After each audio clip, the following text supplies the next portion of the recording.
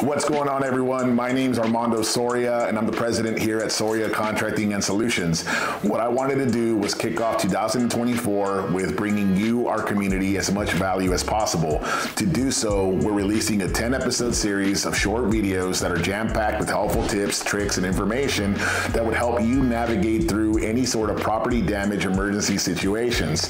To start things off, I wanted to discuss the top three most common occurrences that happen where you might find yourself in need of our services. Number one, water damages. One in 55 homes are affected by a water damage every year. A water damage can occur near any sort of supply line, any sort of water line in the home. It could come from a pipe breaking, from a supply line bursting, from a toilet backing up, and a number of other situations.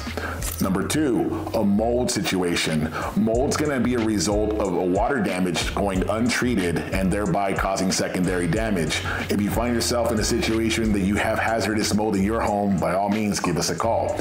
Number three, a fire damage. Now, although building codes have improved and fires are far and few in between, they still happen on a regular basis.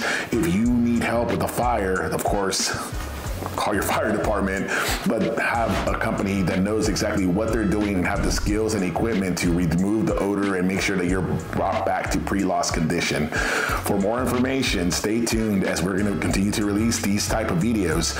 And you can follow us here on Instagram or subscribe to our YouTube channel at the link in the bio. Thank you guys.